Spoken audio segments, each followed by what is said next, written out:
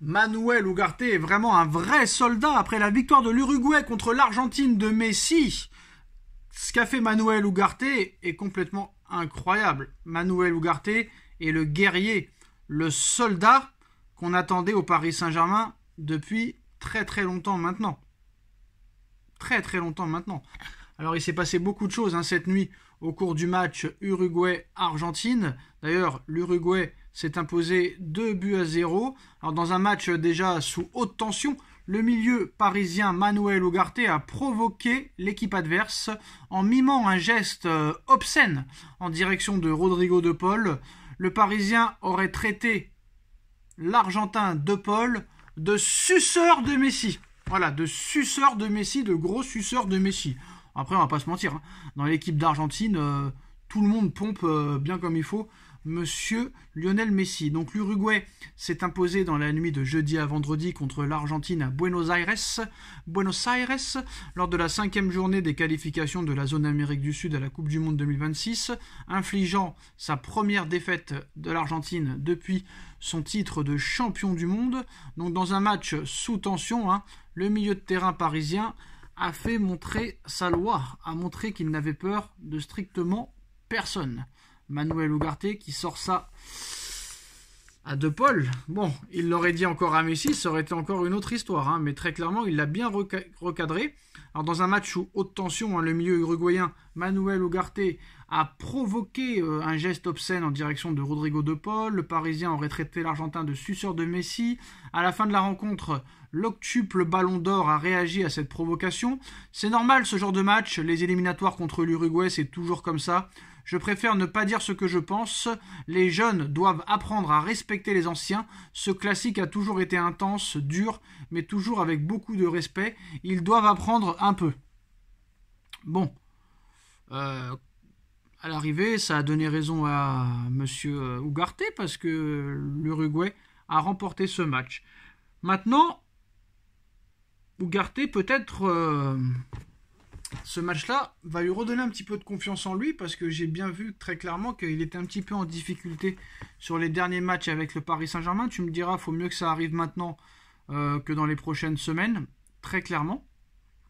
Alors maintenant, euh, la bombe, la bombe du jour, c'est le Real Madrid qui envisage de prolonger Ancelotti pour deux années de plus. Excusez-moi, euh, franchement j'ai du mal à y croire. J'ai du mal à y croire. Euh, le Real envisage de prolonger Carlo Ancelotti pour deux années de plus. Je pense que la vraie information, c'est que euh, le Real Madrid envisage de prolonger Carlo Ancelotti si le Real Madrid fait une très grosse saison cette année. C'est-à-dire minimum finale de Ligue des Champions et vainqueur du championnat d'Espagne. Parce que c'est comme ça au Real Madrid. Hein. Au Real Madrid, c'est pas le Paris Saint-Germain. Au Real Madrid, une mauvaise saison, c'est demi-finale de Ligue des Champions et deuxième en Liga. Une bonne saison, c'est championnat d'Espagne, vainqueur de la Ligue des Champions. C'est ça les hautes ambitions du Real Madrid. Donc ce n'est pas le Paris Saint-Germain. Si Carlo se fait éliminer en demi-finale, comme l'année dernière contre City, Carlo Ancelotti ne sera pas prolongé. Surtout que l'objectif numéro un de Pérez, c'est Xabi Alonso du Bayer Leverkusen. Bien sûr, si Xabi Alonso continue euh, sur cette voie-là, très clairement. Alors maintenant, euh, Carlo Ancelotti, Carlo Ancelotti.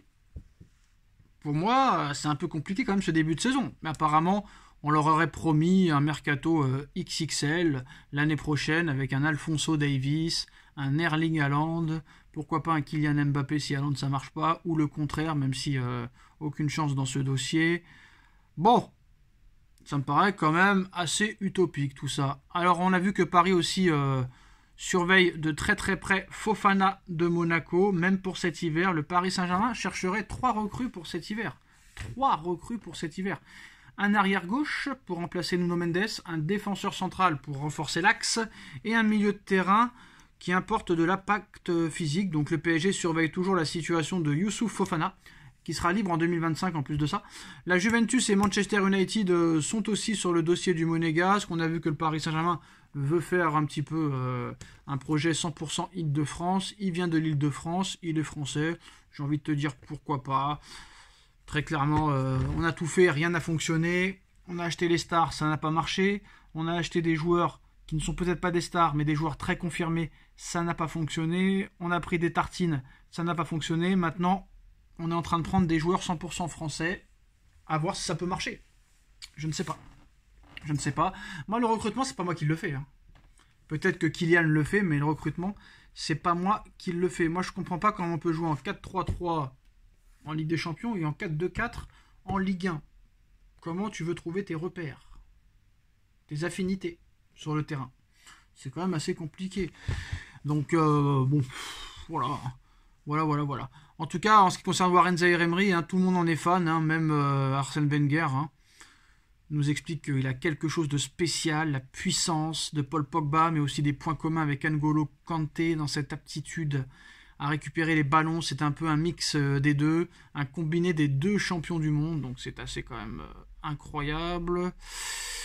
Donc euh, voilà, il n'y a pas grand chose à dire sur Warren Zahir Emery, mais je ne comprends pas ce que le PSG attend pour le prolonger. Peut-être que le Paris Saint-Germain attend que M. Warren Zahir Emery et 18 ans pour le prolonger. Peut-être qu'il a un contrat aspirant. Je ne sais pas réellement la règle euh, exacte, mais quoi qu'il en soit, dès qu'il aura 18 ans, il faut le prolonger les yeux fermés et pas commencer à négocier. Je ne pense pas que ce soit le style de joueur avec qui tu peux te permettre de négocier. Ça peut vite tourner au vinaigre et il y a vite un gros club du style Manchester City, Bayern de Munich, Real Madrid, FC Barcelone qui peut venir te titiller pour venir te le piquer. Voilà. Malheureusement, nous ne sommes pas les dirigeants du Paris Saint-Germain. Je pense que je suis plus compétent qu'eux, mais malheureusement, euh, je ne suis pas dans le club. C'est problématique. C'est problématique.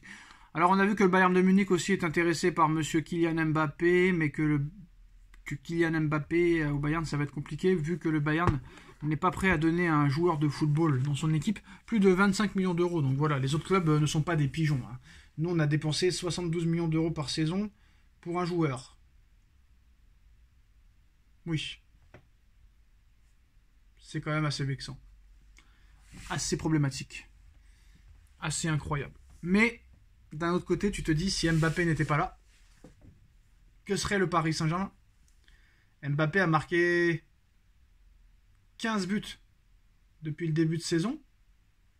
Si tu enlèves ces 15 buts, Peut-être qu'on n'est même plus en course pour la Ligue des Champions, pour les huitièmes, et peut-être qu'on est euh, huitième du classement de Ligue 1. Voilà, c'est problématique. C'est la fin de cette vidéo. Dites-nous en commentaire ce que vous en pensez. On like, on partage, on commence, on commente, on commente, on s'abonne, et on se retrouve très vite pour une nouvelle vidéo. Tchuss.